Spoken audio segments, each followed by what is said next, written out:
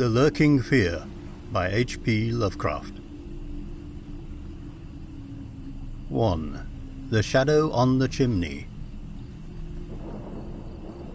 There was thunder in the air on the night I went to the deserted mansion atop Tempest Mountain to find the Lurking Fear.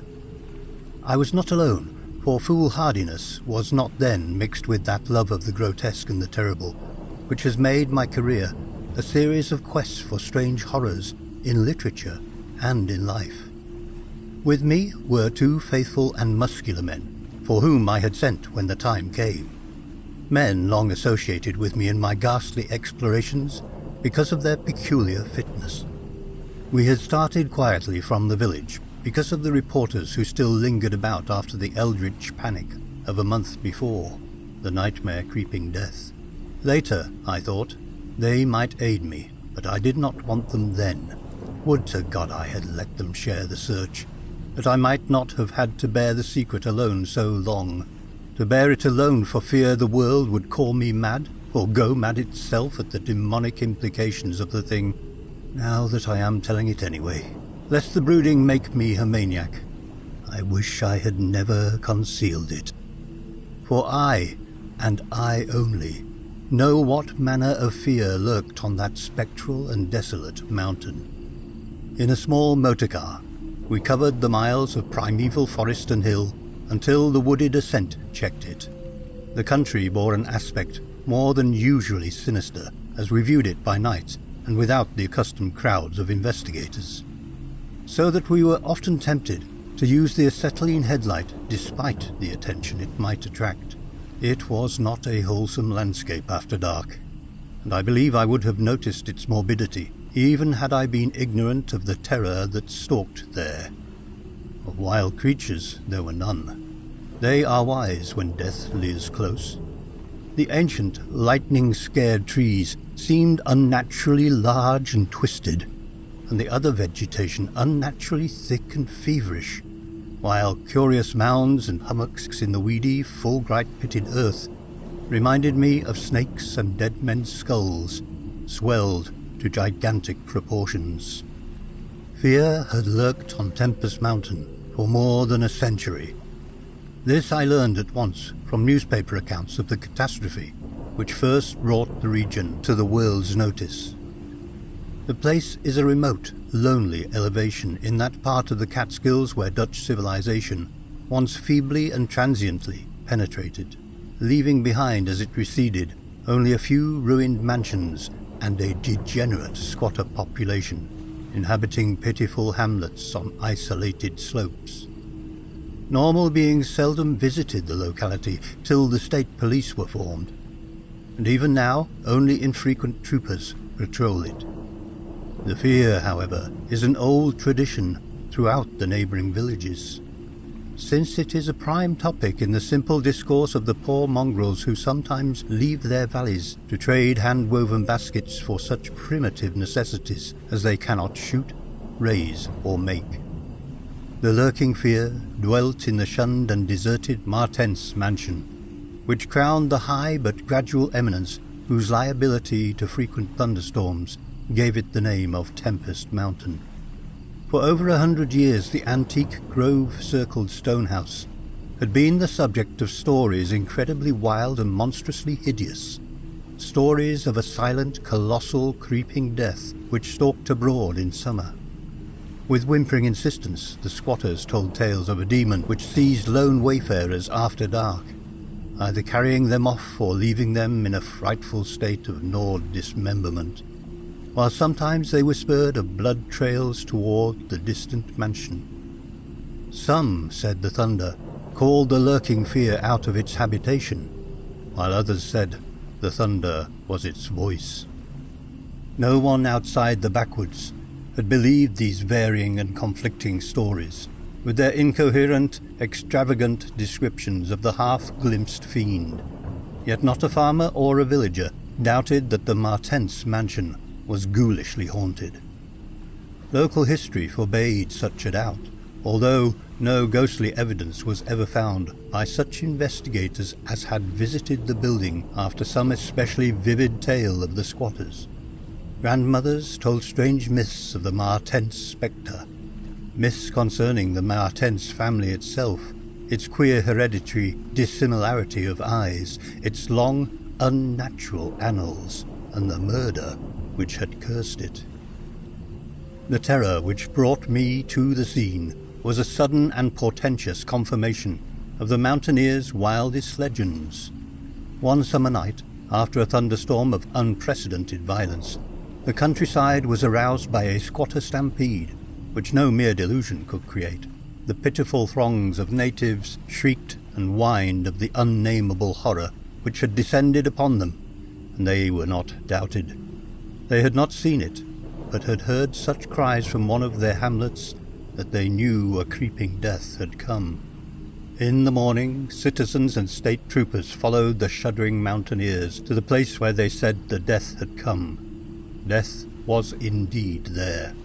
The ground under one of the squatters' villages had caved in after a lightning stroke, destroying several of the malodorous shanties. But upon this property damage was superimposed an organic devastation which paled it to insignificance. Of a possible 75 natives who had inhabited this spot, not one living specimen was visible. The disordered earth was covered with blood and human debris, bespeaking too vividly the ravages of demon teeth and talons. Yet no visible trail led away from the carnage. That some hideous animal must be the cause, everyone quickly agreed nor did any tongue now revive the charge that such cryptic deaths formed merely the sordid murders common in decadent communities. That charge was revived only when about 25 of the estimated population were found missing from the dead, and even then it was hard to explain the murder of 50 by half that number. But the fact remained that on a summer night a bolt had come out of the heavens and left a dead village whose corpses were horribly mangled, chewed, and clawed. The excited countryside immediately connected the horror with the haunted Martense mansion, though the localities were over three miles apart. The troopers were more skeptical, including the mansion only casually in their investigations, and dropping it altogether when they found it thoroughly deserted.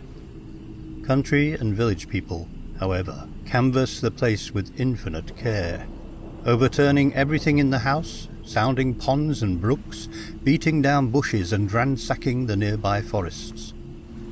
All was in vain. The death that had come had left no trace save destruction itself.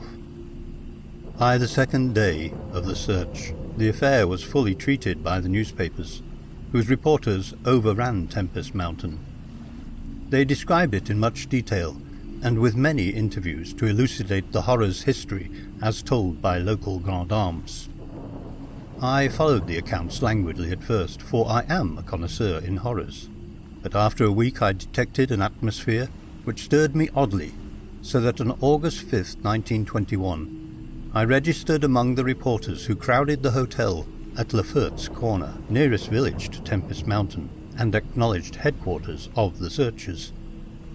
Three weeks more and the dispersal of the reporters left me free to begin a terrible exploration based on the minute inquiries and surveying with which I had meanwhile busied myself.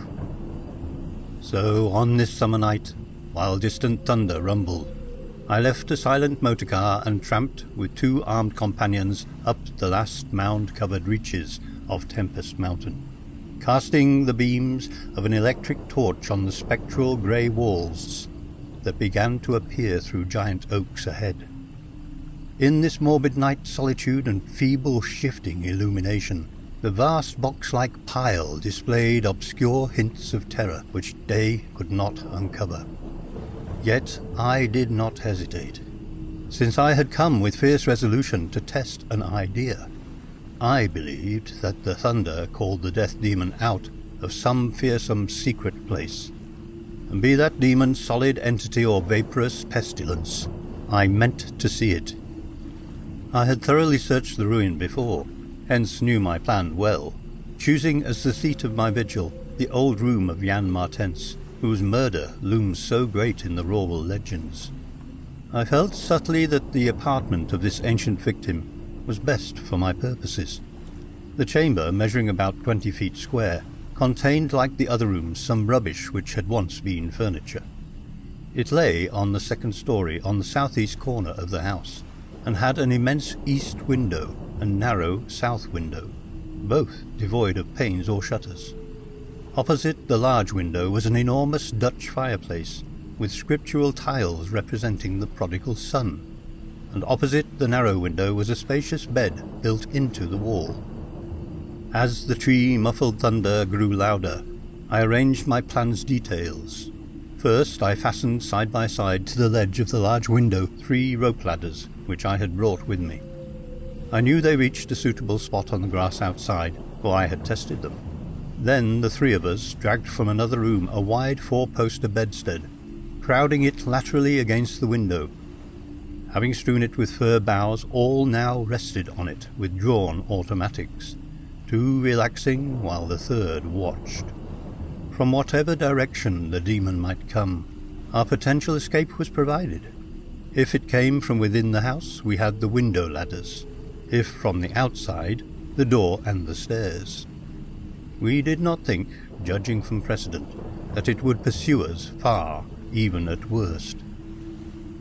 I watched from midnight to one o'clock, when in spite of the sinister house, the unprotected window and the approaching thunder and lightning, I felt singularly drowsy. I was between my two companions, George Bennett being toward the window, and William Tobey toward the fireplace. Bennett was asleep, having apparently felt the same anomalous drowsiness which affected me. So I designated Tobey for the next watch, although even he was nodding.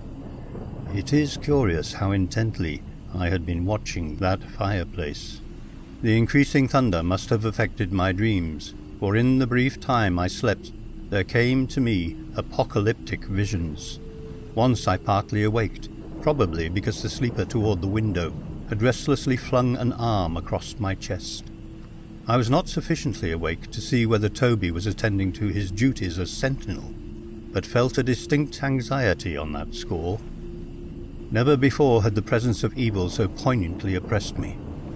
Later I must have dropped to sleep again, for it was out of a phantasmal chaos that my mind leaped when the night grew hideous with shrieks beyond anything in my former experience or imagination. In that shrieking, the inmost soul of human fear and agony clawed hopelessly and insanely at the ebony gates of oblivion. I awoke to red madness and the mockery of diabolism, as farther and farther down inconceivable vistas that phobic and crystalline anguish retreated and reverberated. There was no light, but I knew from the empty space at my right that Tobey was gone. God alone knew whither. Across my chest still lay the heavy arm of the sleeper at my left. Then came the devastating stroke of lightning which shook the whole mountain, lit the darkest crypts of the hoary grove, and splintered the patriarch of the twisted trees. In the demon flash of a monstrous fireball, the sleeper started up suddenly, while the glare from beyond the window threw its shadow vividly upon the chimney above the fireplace, from which my eyes had never strayed. That I am still alive and sane is a marvel I cannot fathom. I cannot fathom it, for the shadow on that chimney was not that of George Bennett, or of any other human creature, but a blasphemous abnormality from hell's nethermost craters, a nameless, shapeless abomination which no mind could fully grasp, and no pen even partly describe. In another second I was alone in the accursed mansion, shivering and gibbering. George Bennett and William Tobey had left no trace, not even of a struggle.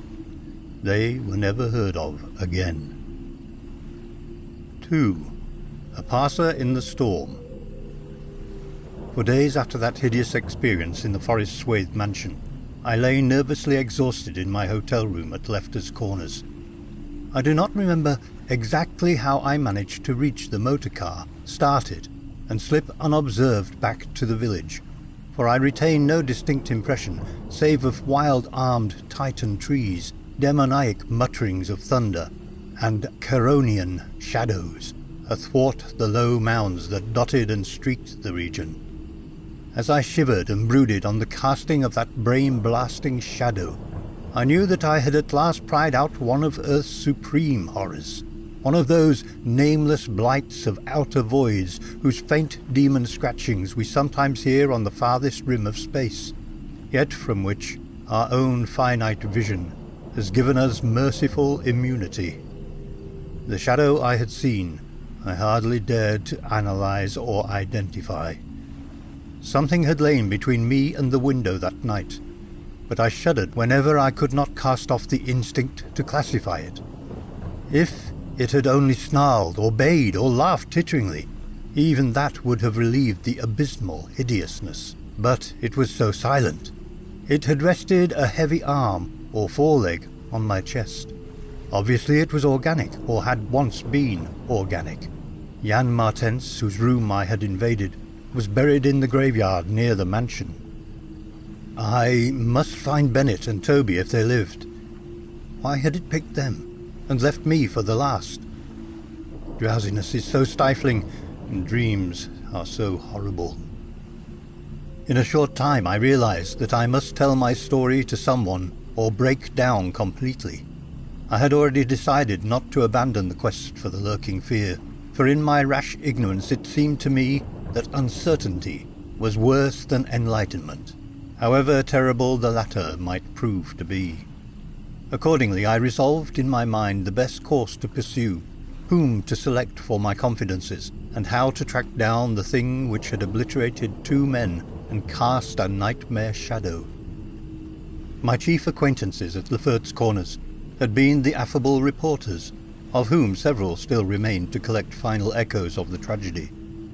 It was from these that I determined to choose a colleague, and the more I reflected, the more my preference inclined toward one Arthur Munroe, a dark, lean man of about thirty-five, whose education, taste, intelligence, and temperament all seemed to mark him as one not bound to conventional ideas and experiences. On an afternoon in early September, Arthur Munroe listened to my story. I saw from the beginning that he was both interested and sympathetic, and when I had finished, he analysed and discussed the thing with the greatest shrewdness and judgment. His advice, moreover, was eminently practical, for he recommended a postponement of operations at the Martinez mansion until we might become fortified with more detailed historical and geographical data. On his initiative, we combed the countryside for information regarding the terrible Martense family and discovered a man who possessed a marvellously illuminating ancestral diary. We also talked at length with such of the mountain mongrels as had not fled from the terror and confusion to remoter slopes and arranged to precede our culminating task the exhaustive and definitive examination of the mansion in the light of its detailed history, with an equally exhaustive and definitive examination of spots associated with the various tragedies of squatter legend. The results of this examination were not at first very enlightening, though our tabulation of them seemed to reveal a fairly significant trend, namely, that the number of reported horrors was by far the greatest in areas either comparatively near the avoided house or connected with it by stretches of the morbidly overnourished forest. There were, it is true, exceptions. Indeed, the horror which had caught the world's ear had happened in a treeless space remote alike from the mansion and from any connecting woods.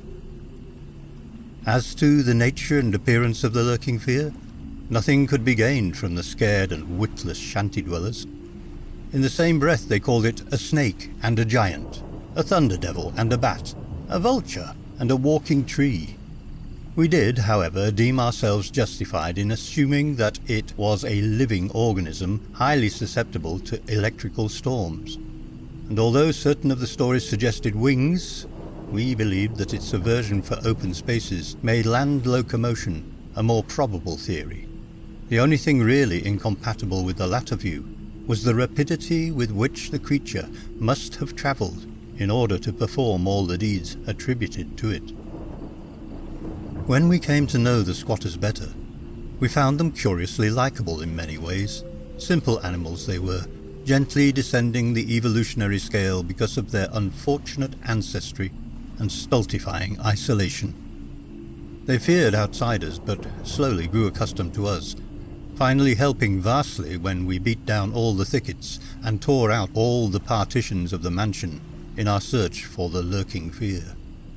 When we asked them to help us find Bennett and Tobey, they were truly distressed, for they wanted to help us, yet knew that these victims had gone as wholly out of the world as their own missing people. That great numbers of them had actually been killed and removed just as the wild animals had long been exterminated. We were, of course, thoroughly convinced, and we waited apprehensively for further tragedies to occur. By the middle of October, we were puzzled by our lack of progress. Owing to the clear nights, no demoniac aggressions had taken place, and the completeness of our vain searches of house and country almost drove us to regard the lurking fear as a non-material agency. We feared that the cold weather would come on and halt our explorations, for all agreed that the demon was generally quiet in winter. Thus there was a kind of haste and desperation in our last daylight canvas of the horror-visited hamlet, a hamlet now deserted because of the squatters' fears. The ill-fated squatter hamlet had borne no name, but had long stood in a sheltered though treeless cleft between two elevations called respectively Cone Mountain and Maple Hill. It was closer to Maple Hill than to Cone Mountain, some of the crude abodes indeed being dugouts on the side of the former eminence. Geographically, it lay about two miles northwest of the base of Tempest Mountain, and three miles from the oak-girt mansion. Of the distance between the hamlet and the mansion, fully two miles and a quarter on the hamlet side was entirely open country the plain being a fairly level character, save for some of the low snake-like mounds, and having as vegetation only grass and scattered weeds. Considering this topography, we had finally concluded that the demon must have come by way of Cone Mountain, a wooded southern prolongation of which ran to within a short distance of the westernmost spur of Tempest Mountain. The upheaval of ground we traced conclusively to a landslide from Maple Hill, a tall, lone, splintered tree on whose side had been the striking point of the thunderbolt which summoned the fiend. As for the twentieth time or more Arthur Munroe and I went minutely over every inch of the violated village, we were filled with a certain discouragement, coupled with vague and novel fears.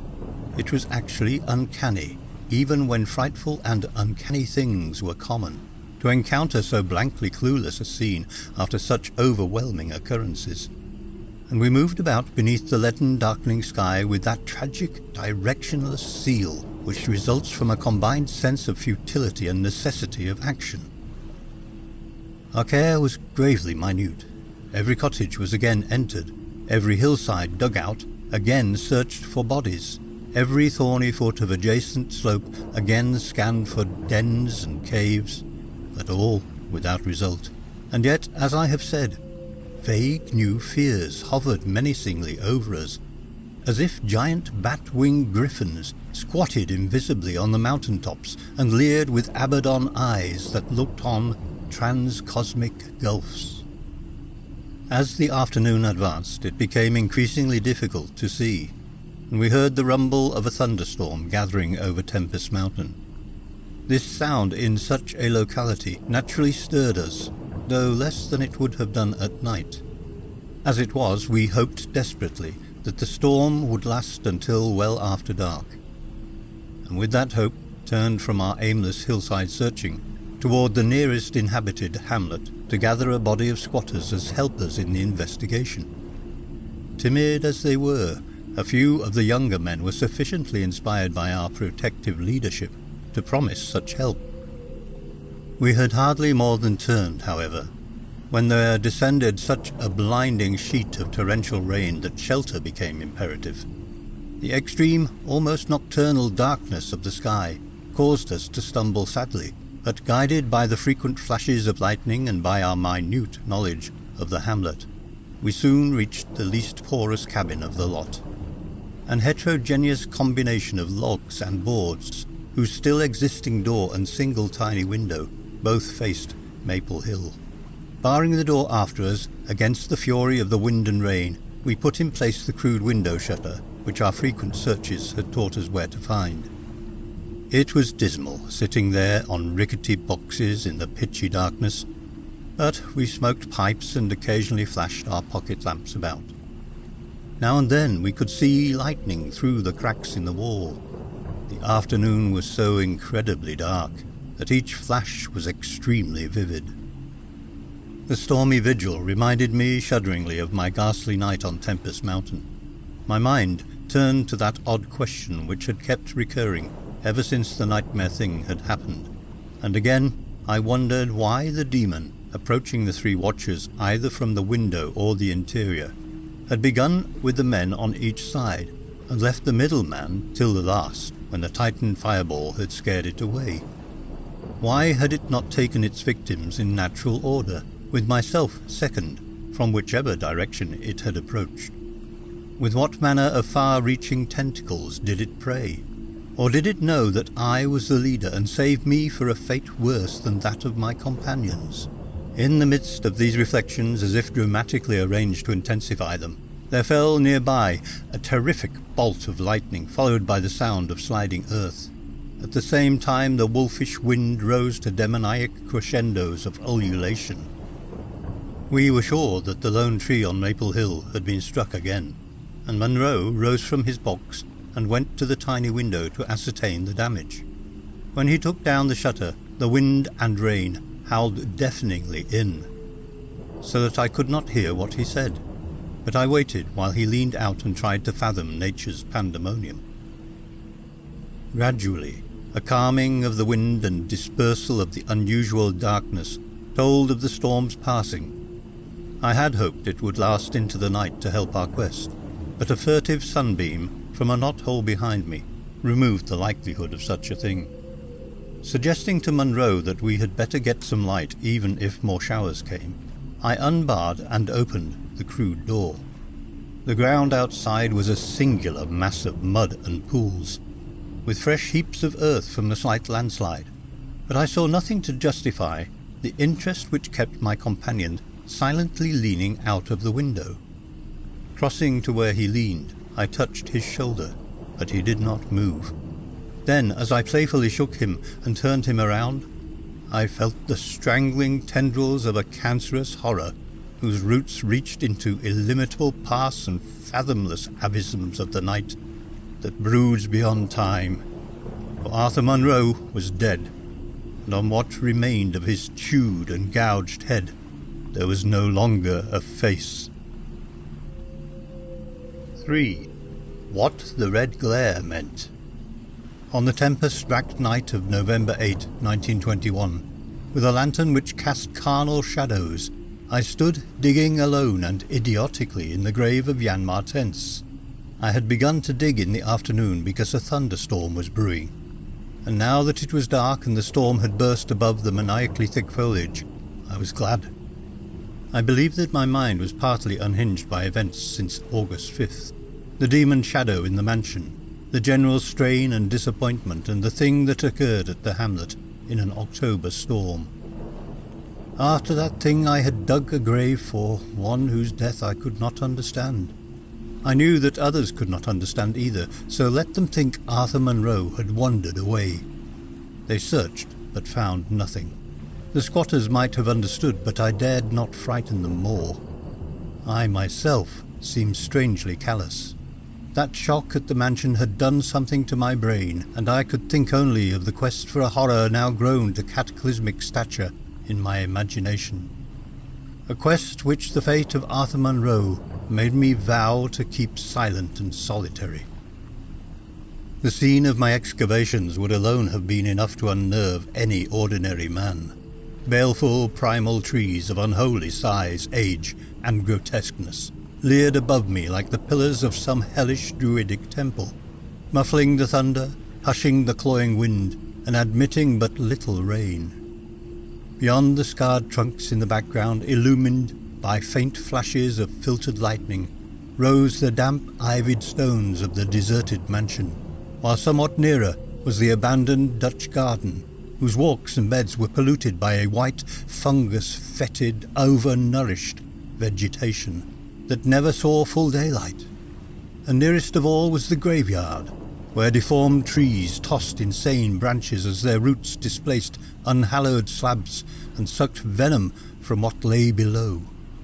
Now and then, beneath the brown pall of leaves that rotted and festered in the antediluvian forest darkness, I could trace the sinister outlines of some of those low mounds which characterized the lightning-pierced region.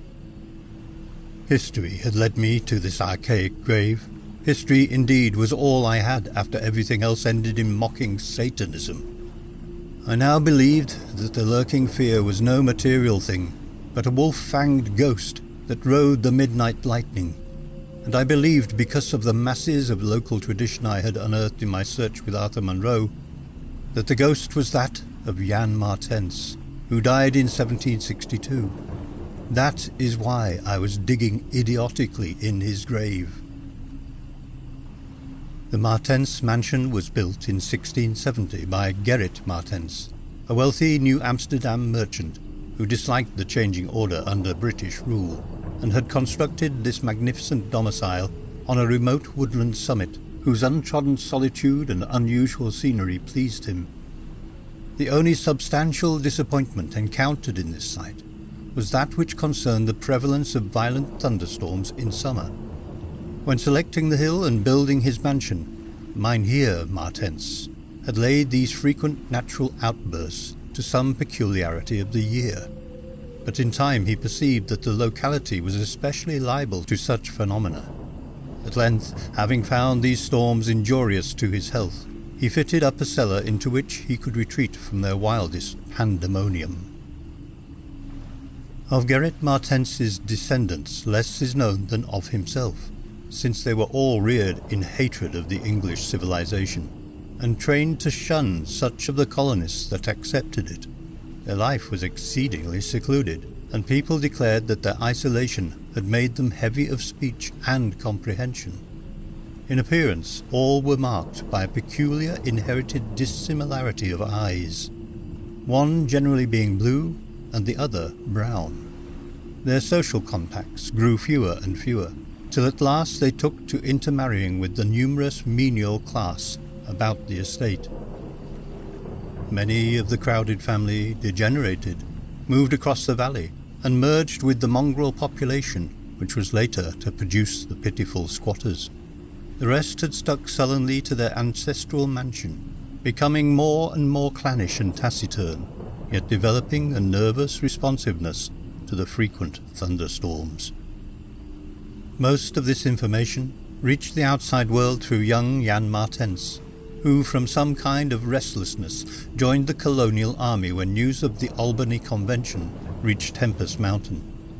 He was the first of Gerrit's descendants to see much of the world, and when he returned in 1760, after six years of campaigning, he was hated as an outsider by his father, uncles, and brothers, in spite of his dissimilar Martense eyes.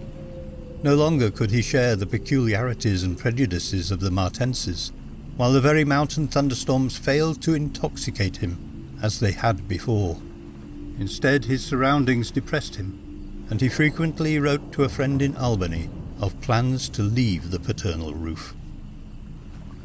In the spring of 1763, Jonathan Gifford, the Albany friend of Jan Martense, became worried by his correspondent's silence, especially in view of the conditions and quarrels at the Martense mansion. Determined to visit Jan in person, he went into the mountains on horseback. His diary states that he reached Tempest Mountain on September 20, finding the mansion in great decrepitude the sullen, odd-eyed Martenses, whose unclean animal aspect shocked him, told him in broken gutturals that Jan was dead. He had, they insisted, been struck by lightning the autumn before, and now lay buried behind the neglected sunken gardens. They showed the visitor the grave, barren and devoid of markers. Something in the Martenses' manner gave Gifford a feeling of repulsion and suspicion and a week later he returned with spade and mattock to explore the sepulchral spot. He found what he expected, a skull, crushed cruelly as if by savage blows. So returning to Albany, he openly charged the Martenses with the murder of their kinsman. Legal evidence was lacking, but the story spread rapidly round the countryside, and from that time the Martenses were ostracized by the world. No one would deal with them, and their distant manor was shunned as an accursed place.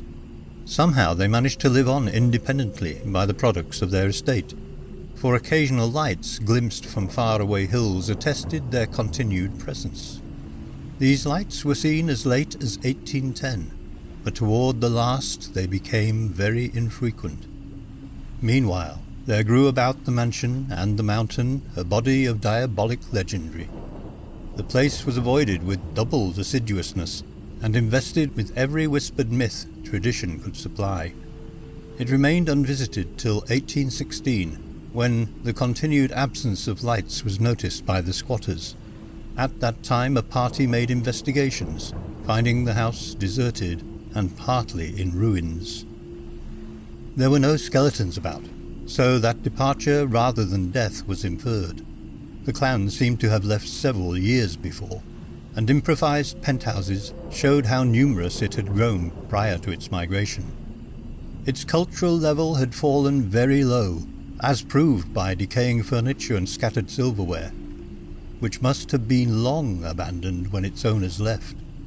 But though the dreaded Martenses were gone, fear of the haunted house continued, and grew very acute when new and strange stories arose among the mountain descendants. There it stood, deserted, feared, and linked with the vengeful ghost of Jan Martense. There it still stood on the night I dug in Jan Martense's grave. I have described my protracted digging as idiotic, and such it indeed was in object and method. The coffin of Jan Martense had soon been unearthed. It now held only dust and nitre. But in my fury to exhume his ghost, I delved irrationally and clumsily down beneath where he had lain. God knows what I expected to find. I only felt that I was digging in the grave of a man whose ghost stalked by night. It is impossible to say what monstrous depth I had attained when my spade, and soon my feet, broke through the ground beneath. The event, under the circumstances, was tremendous, for in the existence of a subterranean space here, my mad theories had terrible confirmation. My slight fall had extinguished the lantern.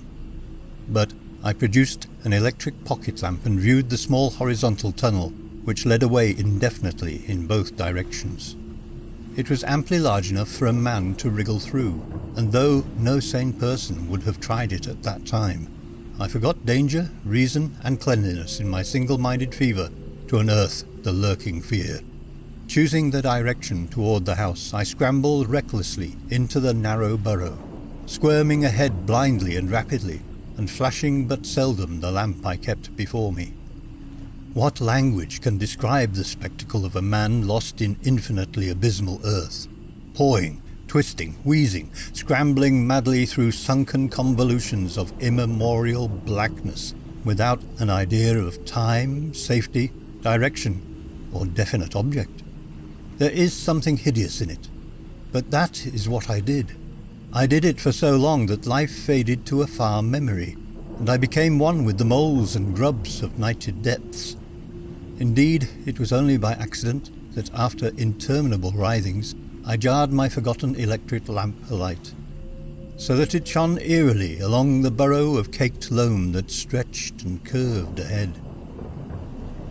I had been scrambling in this way for some time, so that my battery had burned very low when the passage suddenly inclined sharply upward, altering my mode of progress. And as I raised my glance, it was without preparation that I saw glistening in the distance two demoniac reflections of my expiring lamp. Two reflections glowing with a baneful and unmistakable effulgence and provoking maddeningly nebulous memories. I stopped automatically though lacking the brain to retreat. The eyes approached, yet of the thing that bore them I could distinguish only a claw. But what a claw! Then far overhead I heard a faint crashing which I recognized. It was the wild thunder of the mountain, raised to hysteric fury. I must have been crawling upward for some time, so that the surface was now quite near, and as the muffled thunder clattered, those eyes still stared with vacuous viciousness. Thank God I did not then know what it was, else I should have died. But I was saved by the very thunder that summoned it, for after a hideous wait there burst from the unseen outside sky one of those frequent mountainward bolts whose aftermath I had noticed here and there as gashes of disturbed earth and fulgurites of various sizes.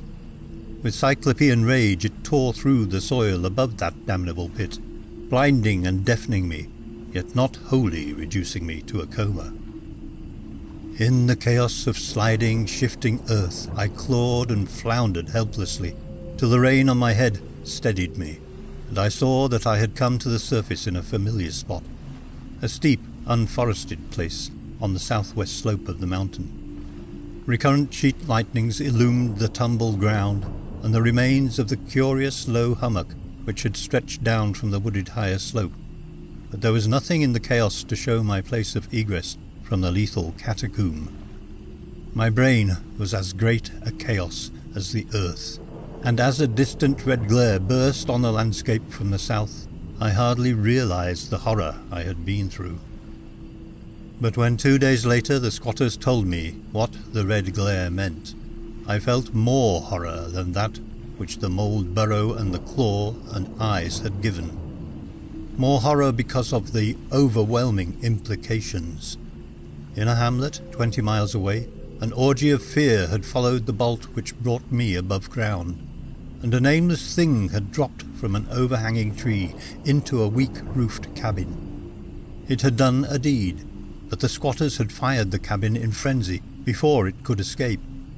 It had been doing that deed at the very moment the earth caved in on the thing with the claw and eyes. 4. The horror in the eyes. There can be nothing normal in the mind of one who, knowing what I knew of the horrors of Tempest Mountain, would seek alone for the fear that lurked there. That at least two of the fear's embodiments were destroyed formed but a slight guarantee of mental and physical safety in this Acheron of multiform diabolism.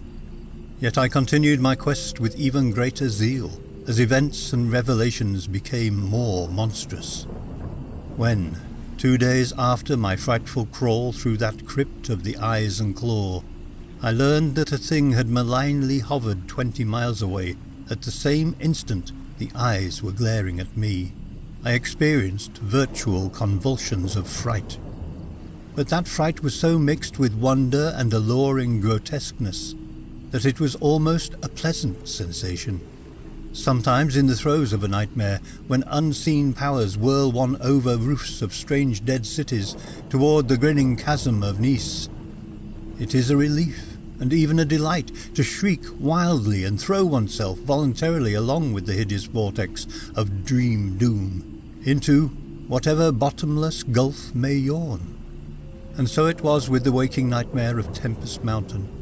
The discovery that two monsters had haunted the spot gave me ultimately a mad craving to plunge into the very earth of the accursed region, and with bare hands dig out the death that leered from every inch of the poisonous soil. As soon as possible, I visited the grave of Jan Martense and dug vainly where I had dug before. Some extensive cave-in had obliterated all trace of the underground passage, while the rain had washed so much earth back into the excavation that I could not tell how deeply I had dug that other day. I likewise made a difficult trip to the distant hamlet where the death creature had been burnt, and was little repaid for my trouble. In the ashes of the fateful cabin I found several bones, but apparently none of the monsters. The squatters said the thing had had only one victim, but in this I judged them inaccurate, since besides the complete skull of a human being, there was another bony fragment which seemed certainly to have belonged to a human skull at some time. Though the rapid drop of the monster had been seen, no one could say just what the creature was like those who had glimpsed it called it simply a devil. Examining the great tree where it had lurked, I could discern no distinctive marks. I tried to find some trail into the Black Forest, but on this occasion could not stand the sight of those morbidly large boles, or of those vast serpent-like roots that twisted so malevolently before they sank into the earth. My next step was to re-examine with microscopic care the deserted hamlet where death had come most abundantly, and where Arthur Munroe had seen something he never lived to describe.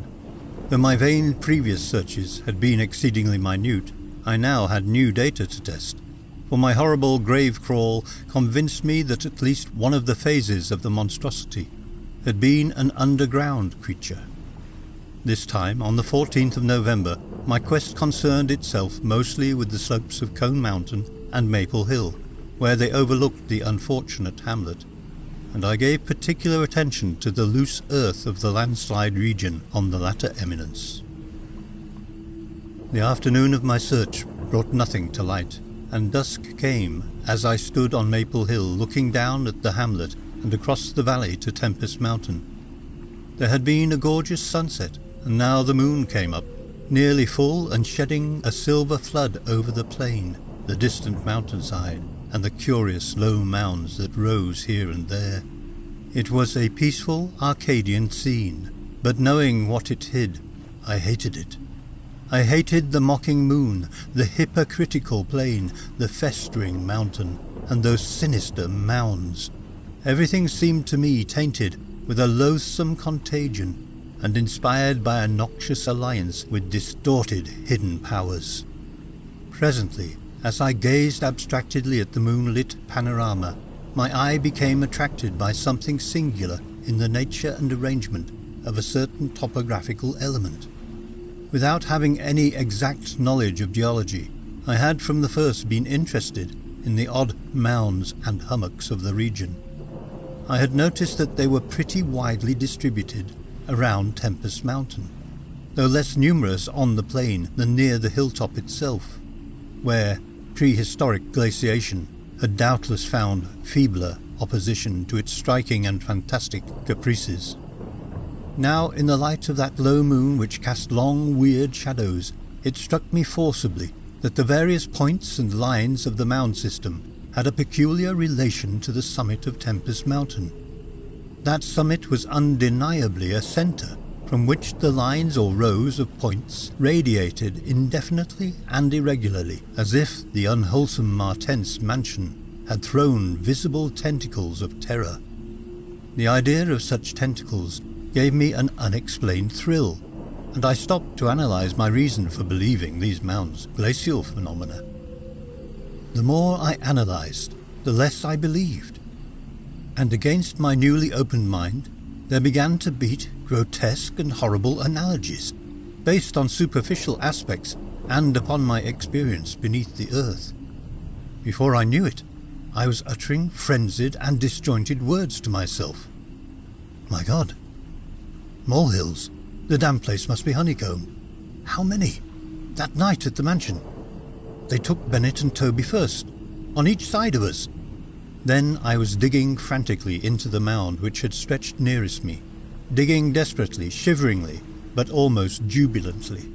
Digging and at last shrieking aloud with some unplaced emotion as I came upon a tunnel or burrow, just like the one through which I had crawled on that other demoniac night.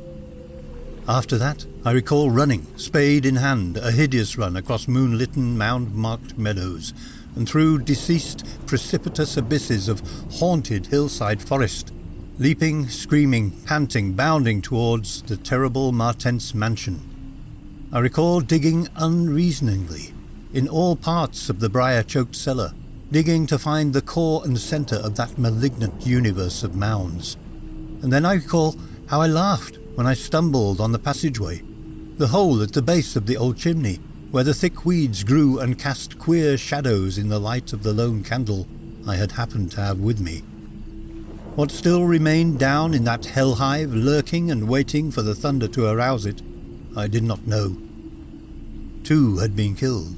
Perhaps that had finished it.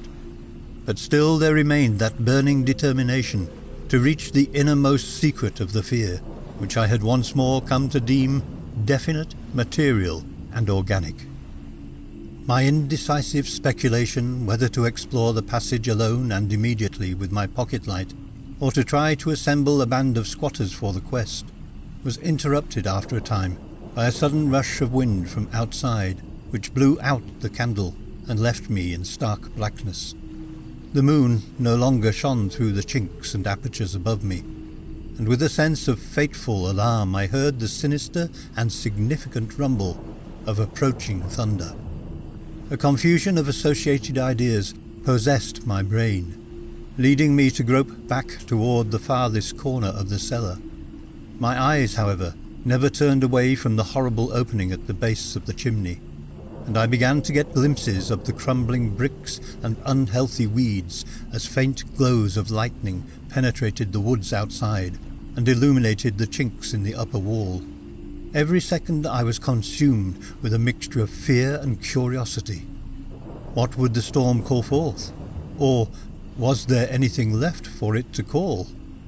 Guided by a lightning flash, I settled myself down behind a dense clump of vegetation, through which I could see the opening without being seen. If heaven is merciful, it will some day efface from my consciousness the sight that I saw and let me live my last years in peace. I cannot sleep at night now, and have to take opiates when it thunders. The thing came abruptly and unannounced, a demon, rat-like, scurrying from pits remote and unimaginable, a hellish panting and stifled grunting, and then from that opening beneath the chimney, a burst of multitudinous and leprous life, a loathsome night-spawn flood of organic corruption more devastatingly hideous than the blackest conjurations of mortal madness and morbidity.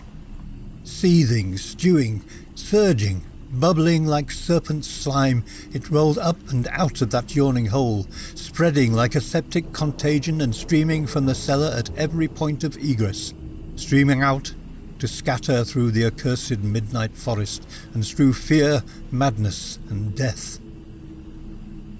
God knows how many there were. There must have been thousands. To see the stream of them in that faint, intermittent lightning was shocking. When they had thinned out enough to be glimpsed as separate organisms, I saw that they were dwarfed, deformed, hairy devils or apes, monstrous and diabolic caricatures of the monkey tribe. They were so hideously silent. There was hardly a squeal when one of the last stragglers turned with the skill of long practice to make a meal in accustomed fashion on a weaker companion. Others snapped up what it left and ate with slavering relish. Then, in spite of my days of fright and disgust, my morbid curiosity triumphed, and as the last of the monstrosities oozed up alone from that nether world of unknown nightmare, I drew my automatic pistol and shot it under the cover of the thunder. Shrieking, slithering torrential shadows of red, viscous madness, chasing one another through endless ensanguined corridors of purple, fulgurous sky, formless phantasms and kaleidoscopic mutations of ghoulish, remembered scene.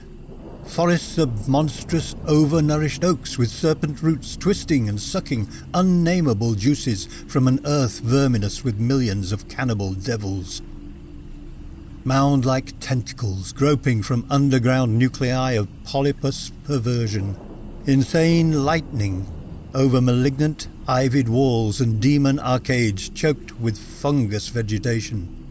Heaven be thanked for the instinct which led me unconscious to places where men dwell, to the peaceful village that slept under the calm stars of clearing skies. I had recovered enough in a week to send to Albany for a gang of men to blow up the Martense mansion and the entire top of Tempest Mountain with dynamite, stop up all the discoverable mound burrows, and destroy certain overnourished trees whose very existence seemed an insult to sanity. I could sleep a little after they had done this, but the true test will never come as long as I remember that nameless secret of the lurking fear. The thing will haunt me, for who can say the extermination is complete? and that analogous phenomena do not exist all over the world. Who can, with my knowledge, think of the Earth's unknown caverns without a nightmare dread of future possibilities? I cannot see a well or subway entrance without shuddering. Why cannot the doctors give me something to make me sleep, or truly calm my brain when it thunders? What I saw in the glow of my flashlight after I shot the unspeakable straggling object was so simple that almost a minute elapsed before I understood and went delirious. The object was nauseous, a filthy whitish gorilla thing with sharp yellow fangs and matted fur. It was the ultimate product of mammalian degeneration, the frightful outcome of isolated spawning, multiplication, and cannibal nutrition above and below the ground. The embodiment of all the snarling chaos, grinning fear that lurk behind life. It had looked at me as it died, and its eyes had the same odd quality that marked those other eyes which had stared at me underground and excited cloudy recollections. One eye was blue, the other brown. They were the dissimilar Martense eyes of the old legends, and I knew in one inundating cataclysm of voiceless horror what had become of that vanished family, the terrible and thunder-crazed house of Martense.